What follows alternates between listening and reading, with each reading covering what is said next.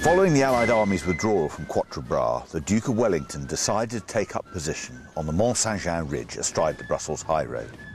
Here he offered battle to Napoleon and his French army, who had just defeated Blücher's Prussians at Ligny. With the Allied army still arriving, the Duke, as was his custom, rode around making detailed deployments down to battalion level.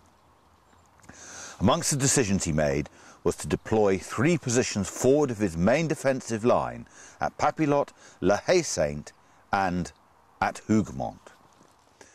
The aim of these forward positions to act as bastions, defensive positions that would limit the French's avenue of approach and break up their attacks.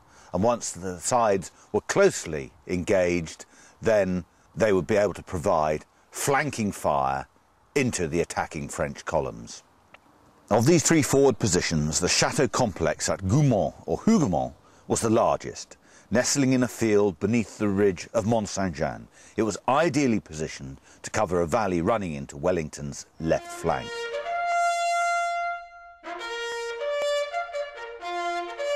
At the centre of the Hougoumont battlefield is the chateau complex, which consisted of the relatively small chateau building surrounded by barns and other buildings, including the gardener's house.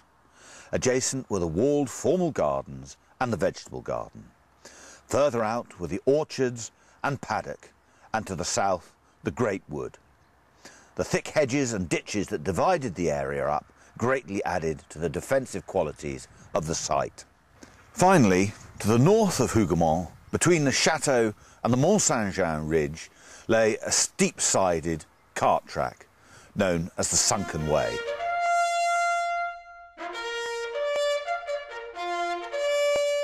The Guards were some of the last to arrive back from Quatre Bras to Mont Saint Jean, and when they arrived at the position in the driving rain, Wellington moved them over to his right hand flank in front of Hougoumont.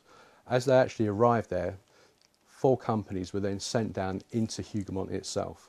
Two companies of 1st Foot Guards under Lord Saltoun went into the actual orchard to the side of Hougoumont, and two other companies, one company from the Coldstreams and one from the 3rd Foot Guards, went into Hougoumont itself to actually barricade and set the place up for defence. All of the entrances were barricaded with the exception of the north gate, which was left open for communications in and out between Hougoumont and the ridge above. Well, during the course of the night, the French obviously knew the position was there, so they actually sent in a cavalry patrol to actually see whether or not they could take the position themselves. As they entered the wood, they were then met by one of the light companies that expelled them from there. So at the end of the night, the whole place, Hougoumont, was taken by four companies of the guards, no French in sight.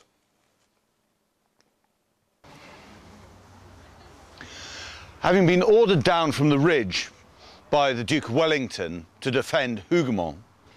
The light companies of the Guards spent the night, as generations of infantrymen before and since have done, preparing their defensive positions for the following day. In this case, here in the formal garden, it was a relatively easy task, and that was to make loopholes through this massive wall, seven to eight feet tall. With their bayonets, they would gouge out the masonry and the mortar and produce a hole that's small enough for them to place their musket through and see what they're firing. Excellent protection. This is one of the original loopholes, but it's been preserved after the battle by putting this stone surround in.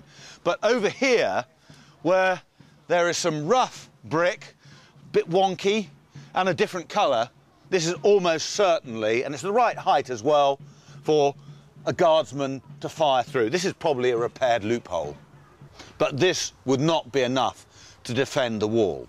So from the pictures we have seen, they also probably scavenging doors, planks and bits of wood built at places along here a fire step, probably about this height, probably resting on these stones. So they could stand on this platform and fire over, and presumably men loading muskets down below and passing a new one up.